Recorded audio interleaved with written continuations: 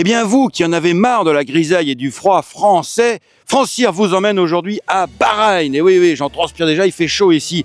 Ce petit archipel du golfe Persique qui se fait connaître de plus en plus au niveau hippique grâce au Bahreïn International Trophy avec deux concurrents français cette année au départ. Andromède entraîné par Francis Henri Graffa et Calif entraîné par Carlos et Yann Lerner. Yann Lerner qui est là, ça va Yann Ça va. Alors on vient de le voir le cheval Calif euh, sortir. Comment tu le sens aujourd'hui, ce magnifique cheval noir? Le cheval est, est arrivé euh, jeudi il s'est très bien adapté euh, au climat et, à l'environnement, donc euh, c'est déjà un, vrai point positif. Ouais, est-ce que c'est quand même un choc hein, chez nous et on se pèle, on se caille les meules, c'est terrible, il fait un temps de chien et ici on arrive, il fait chaud là quand même. Hein. Voilà, voilà, c'est ça. Il faut, faut, faut, bien suivre tout ça parce que c'est vraiment un, un, petit choc thermique euh, pour eux. Donc, mais le, le, cheval, il est, il est vraiment très bien au quotidien. C'est assez facile d'être avec lui. Puis en plus, c'est un cheval qui a fait une grande année, rappelle-le nous. Oui, oui, bah, il a fait sa rentrée dans la coupe euh, en gagnant très bien. Ensuite, il, a été gagné son groupe en Allemagne. Après, on l'a laissé, euh, on l'a laissé un petit peu tranquille pour, euh, pour attaquer justement cette deuxième partie de saison.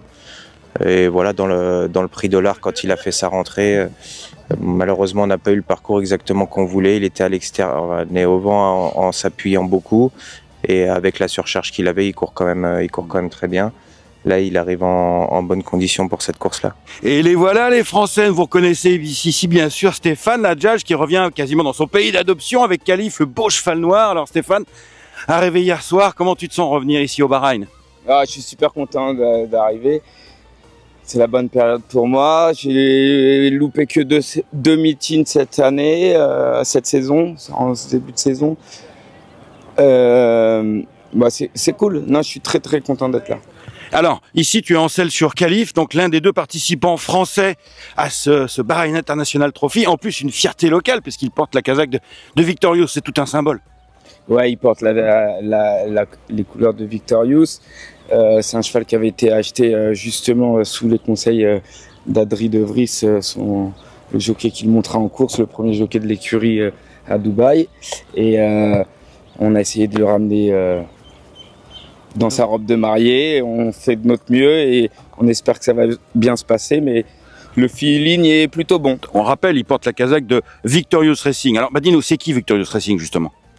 Victorious, c'est Cheikh Nasser qui est, euh, qui est le prince de, de Bahreïn. Donc euh, c'est sûr que ça met un peu de pression sur les épaules d'avoir euh, d'avoir cette casaque locale et on espère qu'on va pouvoir apporter satisfaction. Oui, parce que là c'est quand même un peu la gloire, euh, c'est la gloire locale, c'est la gloire du Bahreïn avec la, la casaque locale. Comment s'est construite cette relation justement avec cette casaque bahreïnie de, de Victorious Racing depuis plusieurs années maintenant? Oui, bah en fait Stéphane Ladjadj qui est sur le qui est sur le cheval travaille travaille depuis euh, maintenant plusieurs, euh, plusieurs hivers avec euh, Fosinas. Et, et l'idée a, a, mûri entre deux pour, pour commencer cette, cette collaboration. Donc au début, voilà, on a, on a reçu trois, trois vieux chevaux. Et dans ces trois vieux chevaux, il y avait Dilawar, qui, qui venait de, de Bahreïn. Et, et, voilà, et après l'année d'après, on a, on a eu des, nouveaux et maintenant on a, on a quelques chevaux sympas avec eux. En tout cas, il a l'air magnifique le cheval. Comment tu l'as senti? Qu'est-ce que tu as fait ce matin? Bah, Vous avez déjà monté le cheval de Zoro Presque oui. Et bah c'est pareil. Tornado. Ouais, on est à deux jours de la course, on le rappelle. C'était quoi l'objectif de ce matin? L'objectif de ce matin, c'était d'enlever un peu de fraîcheur, euh, le laisser un peu glisser les, 200 derniers mètres, mais sans rien demander, euh, que, que, ce soit un plaisir. Tout le travail a été fait à la maison. Euh, Là, c'est juste de l'entretien. Merci beaucoup, Stéphane, avec Calif, le magnifique cheval noir.